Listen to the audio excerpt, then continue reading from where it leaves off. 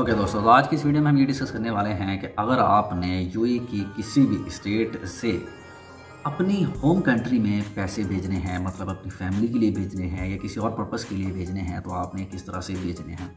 वैसे बहुत सारे मेथड हैं। बट इस वीडियो के अंदर स्पेसिफिक हम डिस्कस करेंगे एक्सचेंज के हवाले से सो एक्सचेंज के थ्रू आपने किस तरह से भेजना है? अदरवाइज़ बहुत सारे मेथड हैं। वन बाई वन एक एक को डिस्कस करेंगे। एंड फ़िलहाल के लिए हम एक्सचेंज के हवाले से डिस्कस कर लेते हैं। एंड एक्सचेंज बहुत ही ईजी वे मेथड है। और आपको हर जगह पर अवेलेबल होगा। एक्सचेंज की मुख्तलिफ़ कैटेगरीज होती हैं। मीन्स के, उनके मुख्तलिफ़ ब्रांड्स होते हैं, उनके मुख्तलिफ़ नाम होते हैं। फॉर एग्ज़ाम्पल अगर मैं कहूँ अलंसारी एक्सचेंज एक ब्रांड है।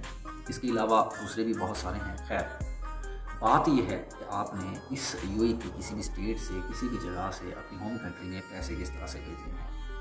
सो कंपलसरी चीज़ ये है कि आपके पास एमरेट्स आई होना चाहिए किसी एक्सचेंज पर जाने से पहले, क्योंकि आप अपनी होम कंट्री में पैसे भेजना चाहते हैं।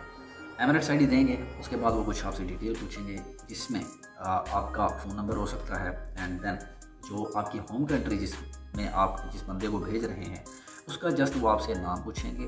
एंड उसके बाद उसका रिलेशन उनके पेरेंट्स के साथ पूछेंगे। सो so, जब भी आपसे वो क्वेश्चन पूछते हैं कि आप नाम बताएँ अगर आपने फीमेल का नाम बताना है तो आप बता सकते हैं। अदरवाइज़ वो साथ आपको एक पर्ची दे देते हैं उसके ऊपर आपने नाम लिखना होता है एंड उनको दे देना होता है। ये डिफरेंस थोड़ा सा होता है क्योंकि मैंने ये देखा है यहाँ पर जब बाज़ आप पैसे लेने जाते हैं तो कुछ लोग आते हैं ऐसे। सो so, ये चीज़ आपको पता होनी चाहिए।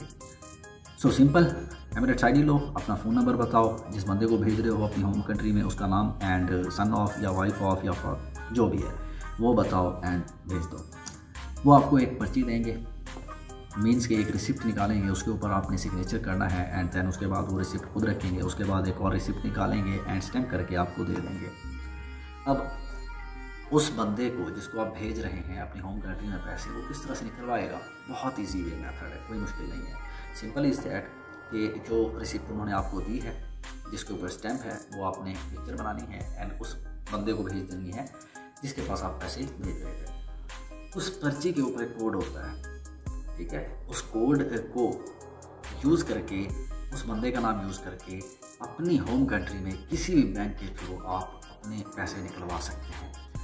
मीन्स के जिस बंदे के पास पैसे भेजे गए हैं, वो जाएगा अपनी किसी भी अपनी होम कंट्री की किसी भी बैंक में चला जाएगा, अपना आईडी कार्ड लेकर जाएगा मीन्स आइडेंटिटी कार्ड लेकर जाएगा, और वो जो रिसिप्ट होगी उसकी पिक्चर आपने उसे भेजी हुई होगी, वो लेकर जाएगा।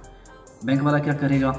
उस बंदे का आइडेंटिटी कार्ड लेगा वो लेने के बाद वो रिसिप्ट देखेगा, उसके ऊपर एक स्पेसिफिक कोड होता है, वो देखेगा एंड उसके बाद जितने पैसे बनते होंगे वो उसको दे देगा। सो सिंपल वे है, कोई इतना लंबा चौड़ा हिसाब किताब नहीं है। हाँ एक चीज़ ये बता दूँ कि जब आप एक्सचेंज पर जाते हैं तो जब भी आप पैसे भेजने जाते हैं, पहली बार जाएँगे, कुछ और रेट होगा, दूसरी बार जाएँगे, कुछ और रेट होगा। मीन्स के रेट चेंज होते रहते हैं, वो डॉलर के हिसाब से होते हैं। फॉर एग्जांपल एक दिन आप गए पैसे भेजने के लिए, एक दिरहम का आपको वो फोर्टी नाइन पॉइंट सेवन दे रहे थे।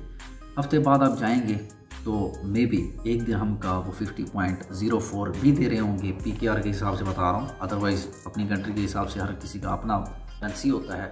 खैर मेन चीज़ कहने का ये है कि रेट चेंज होते रहते हैं और ये डॉलर के हिसाब से होते हैं। डॉलर का रेट बढ़ेगा तो आप दिरहम का रेट है, वो बढ़ेगा एंड इस हिसाब से आपका जो कंट्री होगा, उसका रेट भी बढ़ जाएगा। दूसरी चीज़, जैसे ही गिरेगा तो ज़ाहिर सी बात रेट गिरेगा और कम ज़्यादा तो होता रहता है। तो इस चीज़ से घबराना ही है बट बट कहने का मकसद ये है, बहुत ईजी मेथड है। किसी से भी पूछोगे ना कि एक्सचेंज का मुझे बता दो, कहाँ पर मौजूद है। तो एक्सचेंज का वो बताएँगे, आपको चले जाओ, वहाँ पर ईजिली दैट्स इट हर जगह पर एक्सचेंज मौजूद है, मैंने जहाँ भी देखा है। कौन सी जगह नहीं है जहाँ पर एक्सचेंज मौजूद नहीं है।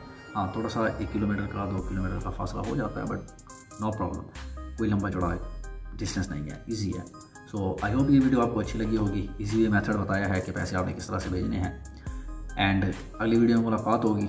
कुछ और तरीके भी बताऊँगा अगर आपने उनके थ्रू भेजना है फॉर एग्ज़ाम्पल बैंक के थ्रू भेजना है या बाकी मेथड होते हैं बहुत सारे वन बाई वन एक एक चीज़ को डिस्कस करते जाएँगे। खैर, इस वीडियो में इतना ही, अगली वीडियो में मुलाकात होती है।